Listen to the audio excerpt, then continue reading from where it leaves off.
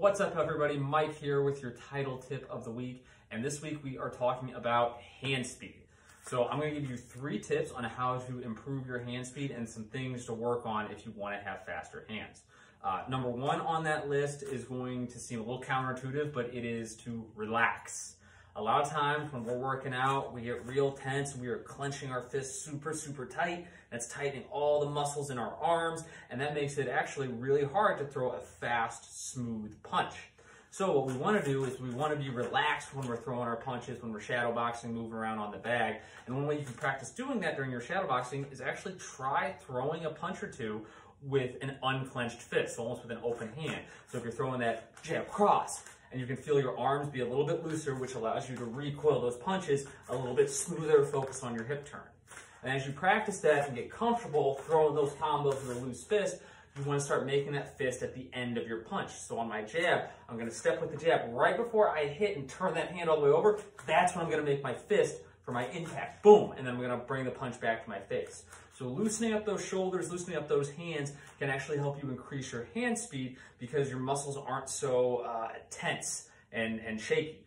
Uh, the next tip actually goes to something I just said. It's about the recoil of the punch.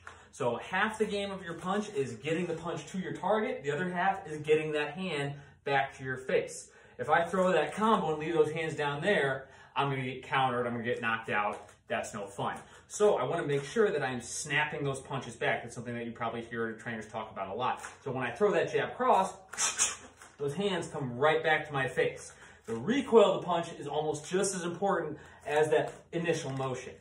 So we wanna be relaxed, we wanna make sure we're recoiling those punches. And a way, another way that you can work on your hand speed or a tool that you can use to work on your hand speed is adding some weights to your shadow boxing. So for this, I would not add a lot of weight. I would say one to two pounds at the most starting off. Uh, take that from somebody who's had two shoulder surgeries before. You want to keep these light so that you keep your good form and don't uh, injure yourself. But you can get these small weights. I got this pair at five below, um, just one pound weights.